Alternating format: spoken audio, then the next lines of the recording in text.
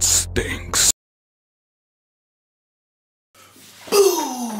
Yeah! What's up guys? Today I am going to customize another pair of Crocs here. We're just going to doodle on it and see how it turns out. Stay tuned.